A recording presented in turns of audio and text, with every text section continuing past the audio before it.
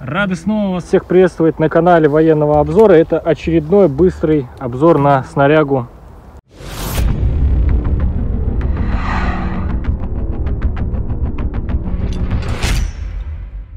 Рассказывай, что это у тебя здесь есть.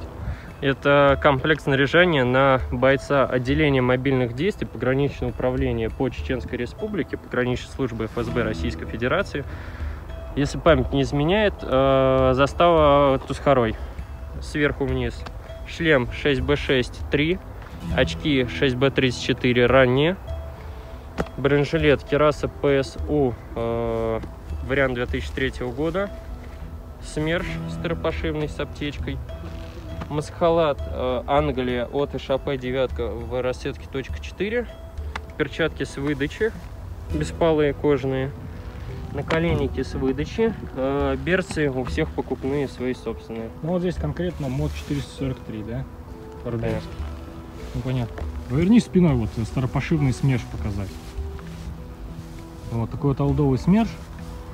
Что интересно на карабинах. То есть ты его сразу с карабинами взял или да? Он сразу с карабинами шел. А, понятно. Ну все, в принципе.